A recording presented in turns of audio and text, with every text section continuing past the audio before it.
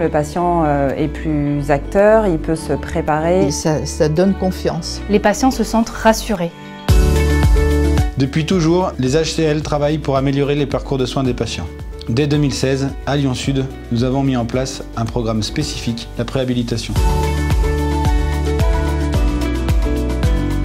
La préhabilitation, c'est la préparation des patients à une chirurgie lourde avec au moins 3 à 4 semaines de préparation. Physique, psychologique et nutritionnelle, c'est les trois étapes qui sont, qui sont clés. Et chez nous, cette préhabilitation, elle est coordonnée par une infirmière dédiée.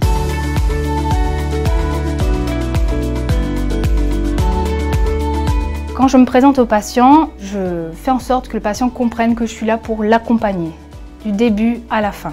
Donc avant, pendant et après son intervention. Je reste la personne référente sur qui il peut s'appuyer et compter. Et s'il a besoin de rencontrer des intervenants, que ce soit les psychologues, euh, notre coach sportive, voilà, c'est faire du lien autour du patient. Aujourd'hui, ce sont quatre infirmières expérimentées qui suivent les patients tout au long de leur parcours de soins chirurgical. Un vrai travail d'équipe.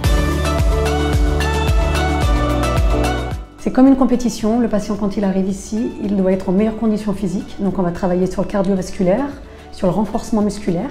Juste avant, on va faire un test de 6 minutes qui va nous donner une condition. Et par rapport à ça, on va établir un, une préparation physique de 4 à 6 semaines. La préhabilitation, c'est exactement superposable à la préparation à un trail ou à un événement sportif euh, majeur. Les patients récupèrent deux fois plus vite, ils restent deux fois moins longtemps hospitalisés et on diminue donc l'impact de la chirurgie. Quand j'ai appris que j'allais me faire opérer, bon, bah, c'est vrai que c'est un peu euh, une bombe qui tombe. La préhabilitation, ça m'a apporté un bien-être, ça m'a apporté une sécurité. Musculairement, euh, j'ai retrouvé mes, capacités.